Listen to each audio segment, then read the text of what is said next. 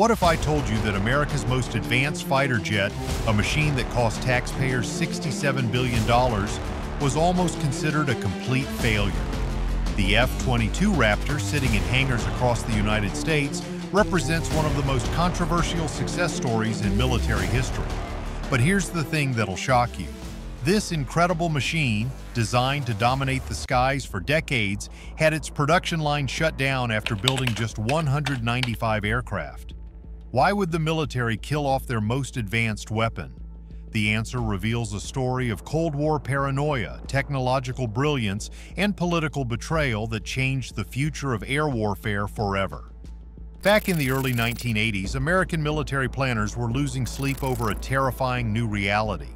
The Soviets weren't just building more fighters, they were building better ones. Picture this.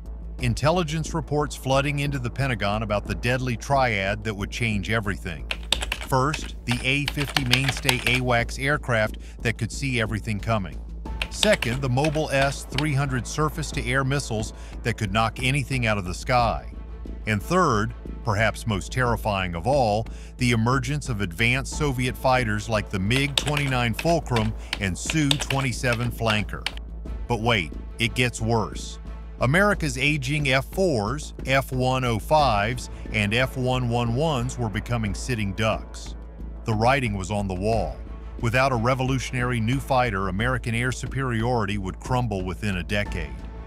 Enter the Advanced Tactical Fighter Program, the most intense fighter competition in aviation history. And here's where we need to be crystal clear about the timeline. In 1990, two prototype aircraft took to the skies, Lockheed's YF-22 and Northrop's YF-23 Black Widow II.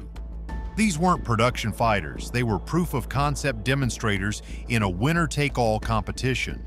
The YF-23 was actually the better aircraft on paper, it was faster with a range of 2,789 miles compared to the YF-22's 2,300 miles. It achieved higher supercruise speeds, Mach 1.72 versus Mach 1.58. In almost every measurable performance metric, the YF-23 dominated. So why did the YF-22 win? This is where politics entered the battlefield. While Northrop was busy building the superior aircraft, Lockheed was busy putting on a show. They conducted flashy weapons demonstrations, extreme angle of attack photography, and live missile launches. Meanwhile, the YF-23 never even fired a weapon during testing. But the real killer? Northrop's reputation was in tatters due to massive cost overruns on the B-2 bomber program. The Air Force chose the safer bet, not the better aircraft. Seven years later, in 1997, the first production F-22 Raptor took flight, a significantly evolved aircraft from the original YF-22 prototype. Now here's where the F-22 becomes absolutely mind-blowing. This aircraft doesn't just hide from radar, it practically disappears. We're talking about a frontal radar cross-section of just 0.0001 square meters. To put that in perspective, that's the size of a marble. A 65-foot-long fighter jet shows up on enemy radar as a marble floating through the sky. But achieving this invisibility came at a devastating cost that nobody anticipated. The F-22's radar-absorbing materials are so sensitive that they require between 700 to 1,000 hours of maintenance for every 100 hours of flight time. Think about that ratio. For every hour this aircraft spends in the air, it needs up to 10 hours of specialized maintenance. The coatings crack from temperature changes, peel off from UV radiation, and literally dissolve in humid conditions. And here's the kicker that'll blow your mind. Even tiny cracks measuring just a few microns can increase the aircraft's radar signature by a factor of 10. That marble suddenly becomes a basketball on enemy screens because of damage invisible to the naked eye. But here's a mystery box for you. The maintenance situation has actually gotten much worse over time, and the numbers I'm about to reveal will shock you. Remember those early maintenance figures of 30 hours per flight hour? Well, hold on to your seats because the reality is far more brutal.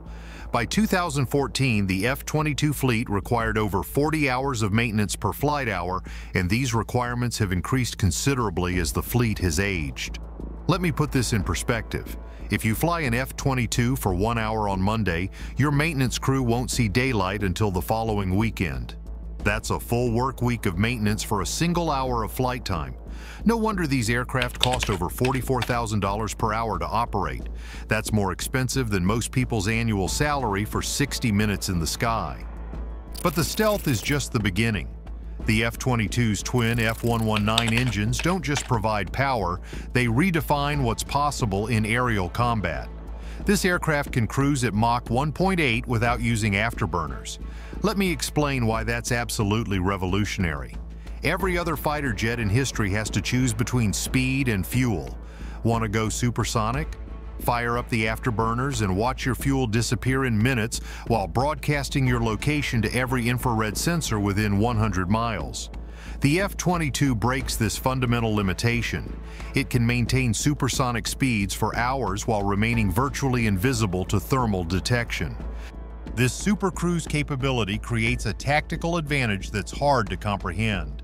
When an F-22 launches an air-to-air -air missile at Mach 1.8, that missile inherits the aircraft's velocity. Suddenly, a missile with a 60-mile range becomes effective at 100-plus miles because of the launch platform's speed. Here's where engineering gets absolutely insane. How do you pack enough firepower to win air battles while maintaining perfect stealth? The solution was to essentially build the entire aircraft around its weapons bays. The F-22's internal bay structure is so integrated that the airframe is literally wrapped around it. The main weapons bay can carry six AIM-120C AMRAAM missiles using specialized vertical ejection launchers. But launching missiles from internal bays at high speed creates a nightmare scenario. Weapons can slam into the aircraft during separation, the engineers had to develop acoustic suppression systems and precisely timed launch sequences that open bay doors, eject weapons, and close doors in mere seconds. But here's the trade-off that haunts every F-22 mission. Internal storage severely limits weapons capacity. While conventional fighters can carry 16-plus missiles on external pylons, the F-22 is restricted to 8 missiles maximum while maintaining stealth. Need more firepower? Mount external weapons and sacrifice your invisibility. Now we reach the most controversial part of the F-22 story. Originally planned as a 750 aircraft program to replace the entire F-15 Eagle fleet, the actual production was capped at just 195 aircraft. Why? The answer reveals one of the biggest strategic blunders in modern military history. When the Cold War ended in 1991, the Soviet threat that justified the F-22 program simply vanished overnight. Suddenly, building 750 of the world's most expensive fighters seemed excessive for fighting insurgents in Afghanistan and Iraq. Defense Secretary Robert Gates delivered the final blow in 2009, arguing that the F-22 was unnecessary for counterinsurgency operations and too expensive to maintain. Here's the shocking math. Those 195 F-22s cost approximately $360 million each when you include development costs. In 2009 dollars, equivalent to roughly $500 million in today's money. The Air Force estimated in 2017 that restarting production would cost $50 billion for 194 additional aircraft, essentially building a second F-22 program from scratch but the true flyaway cost per aircraft was actually around $138 million in 2009 dollars, about $191 million in 2023 dollars. The massive 360 million figure includes all that research and development spread across just 195 jets instead of the planned 750. But here's the twist that nobody saw coming and the latest development that changes everything. In March 2025, the Air Force chose the Boeing F-47 as the winning design for the Next Generation Air Dominance program, officially marking the beginning of the F-22's replacement. The F-47 represents everything the Air Force learned from the F-22's successes and failures. It will have significantly longer range, more advanced stealth, be more sustainable, supportable, and have higher availability than our fifth-generation fighters. Translation Boeing had to fix everything that went wrong with the F-22. But here's what's fascinating. The F-22's supposed failure is actually becoming its greatest success.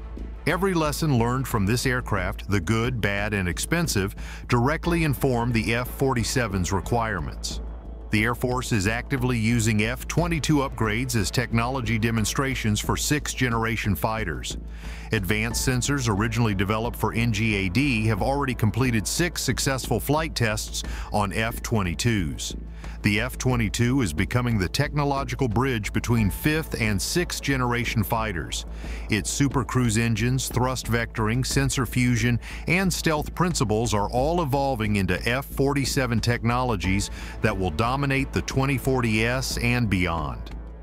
And here's a mystery box that reveals the F-22's current crisis. Despite massive sustainment investments, mission-capable rates consistently fall short of Air Force objectives. The fleet struggles to maintain 50 to 60% mission-capable rates against an 80% target set by former Defense Secretary James Mattis. Think about that.